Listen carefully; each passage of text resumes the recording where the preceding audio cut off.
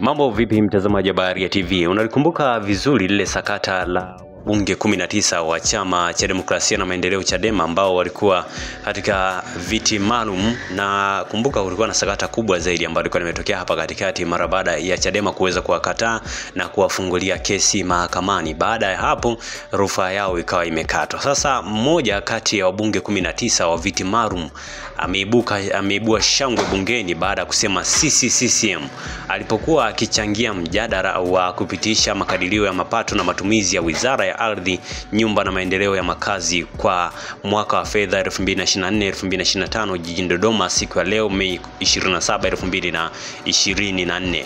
Kauli hiyo imetolewa na Hawa e, Mwaifunga alipokuwa akilalamikia kiasi cha fedha kilichotolewa Tume ya Mipango na Matumizi e, Bora ya Ardhi, na hapa anazungumza zaidi kuhusiana na kile ambacho kilikuwa kinaendelea, lakini pia akiwa amesema sisi CCM. Kwa hiyo ni ukitazama hapo utaona namna ambavyo watu wengi wamekuwa wakijua labda atakuwa amehamia kwa CCM. Je, litakuwa ni pigo eh, kwa chama cha demokrasia na maendeleo Chadema mara baada ya wahawa eh, wabunge kumi na tisa mara baada ya kuweza kuzungumzwa na Chadema, watu wengi walikuwa wanaita hali COVID 19, lakini wao hawakusema kitu chochote. Hii ni dhahiri kwamba wameshahamia chama cha mapinduzi CCM. Mtazame hapa moja kati ya hawa wabunge wa viti maalum. Lakini Mheshimiwa Spika, mimi nimeona, nilikuwa najaribu kupitia maeneo mbalimbali, nimeona nguvu kubwa na ya kutosha kwa kazi ambayo wanaifanya tume hii. Safari hii 2023 24, Mheshimiwa Spika, kwanza tulipunguza bajeti. Hata ile bilioni nne ambayo walisema watawapa 22 23, kwanza haikukamilika. Lakini 2023 24, Mheshimiwa Spika, wamepewa wamepewa bilioni tatu na pointi nne na wamefanya kazi kwa asilimia mia moja. Mheshimiwa Spika, uone ni kwa namna gani tume hii ina uwezo mkubwa wa kufanya kazi kama tutawasaidia kuwapa fedha.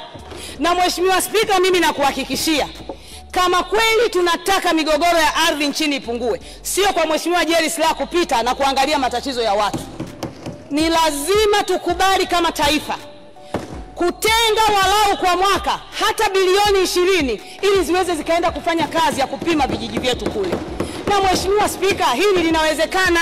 Nilikuwa napitia bajeti ya mwaka huu, Mheshimiwa Spika, wametengewa eti tume bilioni tano. Hivi kweli tuko serious?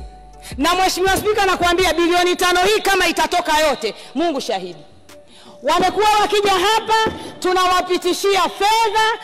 Mwaka jana hapa, kama utakumbuka, bajeti ya mwaka jana ilikuwa ya moto kweli kweli. Mheshimiwa Spika, kila mbunge aliyesimama hapa alizungumzia kuhusu swala la tume. Serikali ikajikomiti ikasema katika mradi ule ambao wa LTIP serikali itatoa bilioni ishirini ili kuweza kupeleka tume ikapime. Mheshimiwa Spika, mpaka hivi tunavyozungumza hakuna fedha ambayo imekwenda, na wanafanya hivyo Mheshimiwa Spika, wanatudanganya wabunge ili tusishike shilingi zao ili tusiweze ku, ku, ku, ku, ku, kusema sana humu ndani. Wanatudanganya, wanatuambia, lakini Mheshimiwa Spika, hayatekelezeki. Sasa watuambie huu mradi wa LTIP si umeshaanza? Sasa kama umeanza, kwa nini hizi fedha hazitoki zikapelekwa tume ikafanya kazi yake?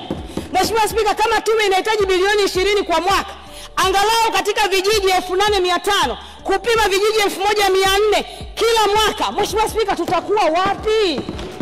Lakini bado mkumbuke, wana CCM wenzangu, humu ndani ukiingia unapewa wana CCM E, sawa tu.